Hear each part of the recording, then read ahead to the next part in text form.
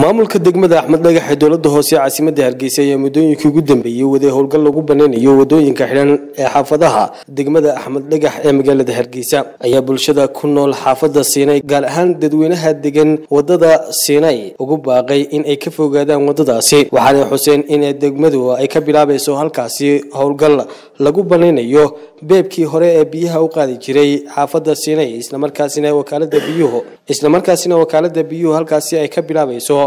howlgal biyogelin ah iyadoo la raacayo beebkii hore ee biyaha u qaadi jiray xaafada siinay waxaana amuurtaasi ka hadlay jamaal caydiid oo ah gudoomiye ku-xigeenka degmada axmed dhagax halkan waxaan fariin ogeysiis ah uga diraynaa dadka ku dhaqan xaafadda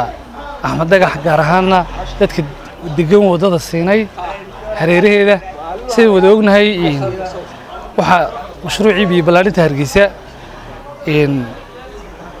intii hargeysa hore biyo u cabbi jirtay ayaa la doonaya inay biyaha dib u cabbaan. Marka beebka waddada siinay waxaa la doonaya in beebabkii dib loo dhigo.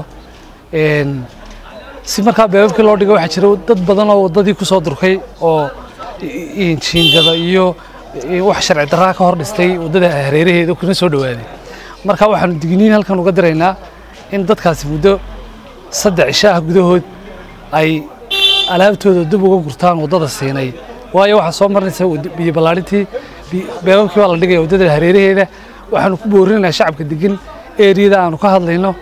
inay waddada ka durkaan sida ugu dhaqsaa badan muddo saddex cishaana alaabtooda uga gurtaan. Wixii muddo saddex cisha ka badan waxaa lagu samayn doonaa fulin dowladda hoose way fulin doontaa. Marka waxaanu shacabka si naxariis looga codsanaynaa inay wakhtigaa kooban kaga guuraan hareeraha waddada siinay cabdulqaadir cabdulaahi nuur